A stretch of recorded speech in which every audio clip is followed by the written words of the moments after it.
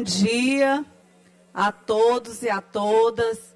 Queria cumprimentar aqui a mesa, onde está deputado Carlos Lula, deputado Florencio, deputado Antônio Pereira, aqui compondo, compondo essa mesa hoje, no qual eu cumprimento todos os colegas e colegas deputados aqui presentes, toda a imprensa, todos os telespectadores da Rádio e TV Assembleia.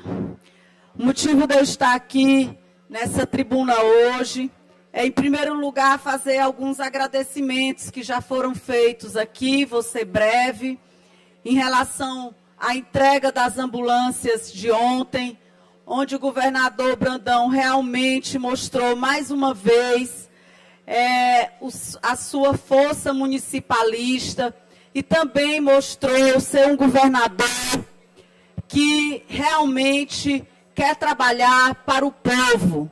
Como ele mesmo falou no seu discurso, foi contemplado os 44 de deputados, os dois que estão licenciados, e também não olhou prefeitos e prefeitas que votaram ou não votaram dele. Essas ambulâncias foram para o povo do Maranhão. E isso é muito importante destacar e agradecer ao nosso governador. Queria também falar um pouco sobre a Agrobalsas, parabenizar a FAPSEM, parabenizar o governo do estado, parabenizar a prefeitura de Balsas por um evento que realmente move a economia da nossa cidade e foi um sucesso. E aqui eu tenho que agradecer a presença do nosso governador Carlos Brandão e também dos colegas que estiveram presentes, deputado Florencio, a nossa presidente Iracema, que está ali, deputada Andréa Martins, deputado Glaubert, deputada Ana do Gás, deputado Arnaldo Melo, que foi no dia seguinte, deputado Najib, que se impressionou com a feira, não é isso, deputado Florencio? Saiu de lá muito entusiasmado em montar um negócio em Balsas, eu tenho certeza disso. E então agradecer também, falar um pouquinho também de ontem da despedida do Coronel Paulo Fernandes, que realmente foi uma pessoa que trabalhou com afinco aqui nessa casa, cumprindo as suas funções e agora, com certeza, vai ter muito sucesso numa missão maior, porque ele é um exemplo de competência na polícia do nosso estado. Gente, mas eu queria também linkar com a Agrobalsas, falando um pouco de desenvolvimento econômico e parabenizar o deputado Arnaldo Melo pelo grande ato que ele, tem, que ele fez ontem, fazendo essa frente, lançando essa frente parlamentar de combate à pobreza do Maranhão. Ficou muito claro ontem nesse ato foi muito também falado pelo eterno governador, é, nosso eterno governador Zé Reinaldo, que estava presente lá, sobre como é, é gritante essa diferença do, da pujança econômica do nosso Estado e, ao mesmo tempo, ser um Estado com índices tão, tão pobres de desenvolvimento humano. Eu acredito que, assim como o doutor Arnaldo, nós todos, deputado Eric, deputado Hélito, temos que nos conformar com isso. E eu venho falando, sempre em meus discursos, que eu sou uma defensora, deputado Arnaldo, da, do desenvolvimento da, do, dos potenciais econômicos desse Estado.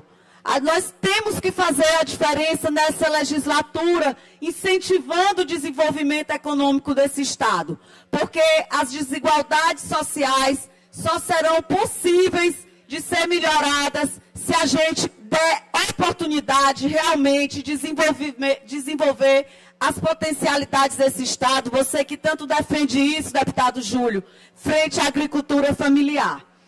Então, eu gostaria de dizer que é importante que nós, nós todos, os 42 deputados dessa casa, estejamos juntos, porque um Estado com tantas riquezas, com tantos potenciais, viver sendo destaque de, dos piores índices do nosso país, nós não podemos mais nos conformar em relação a isso.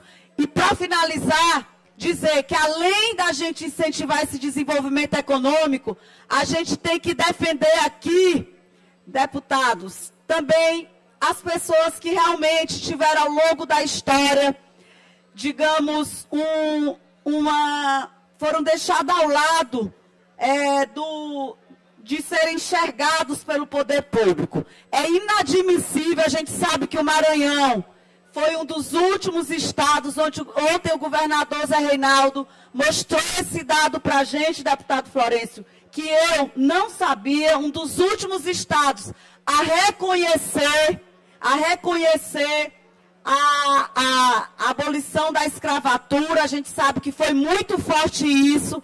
E a gente vê acontecer, deputado Zé Inácio, o que aconteceu com Vinícius Júnior. A gente tem que defender essas pessoas que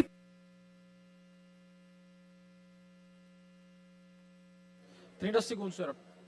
Foi, que por muito tempo tiveram déficit em relação, é, digamos, às oportunidades, que são os negros, são os índios, enfim, toda essa população. E aqui eu quero manifestar, assim, que eu sou uma fã incondicional do Vini Júnior, como meus filhos, não só pelo seu futebol, mas também pela sua alegria e aquele sorriso que contagia a todos. Muito obrigada.